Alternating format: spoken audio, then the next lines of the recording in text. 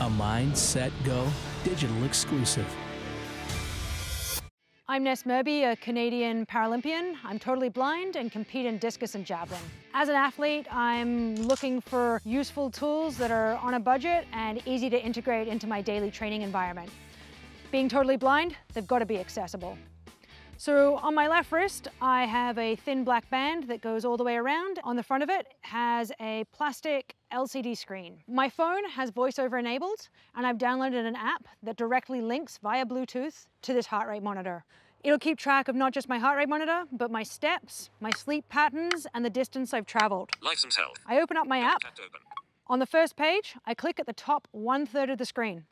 Button. Scroll to the right, tells me my steps. Today I'm a little low on my step count, but we've been filming all day and that's my excuse and I'm sticking to it. There's a button uh, on the home screen, bottom third of the screen. It's gonna tell me about my sleep. Double click on the sleep.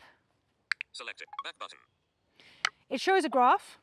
I can't use the graph, but if you wanna get someone to check it, you can. What I focus more on is how much deep sleep I'm getting and how much light sleep I'm getting. So I click on the screen, Button. Time asleep. Sleep tells me the time of sleep, tells me the sleep analysis. Deep sleep. Deep sleep, 2 hours 20 minutes. 2 hours 20 minutes. Light sleep. Light sleep, 5 hours 40 minutes. 5 hours and 40 minutes. Really useful tool, something that I recommend if you're looking for a bit of motivation, to keep up your step count, and to keep an eye on your energy levels through sleep patterns. Want more Mindset Go? Watch on AMI TV or stream full episodes on AMI.ca and on the AMI TV app for iOS in partnership with the Canadian Paralympic Committee with the participation of the Canada Media Fund.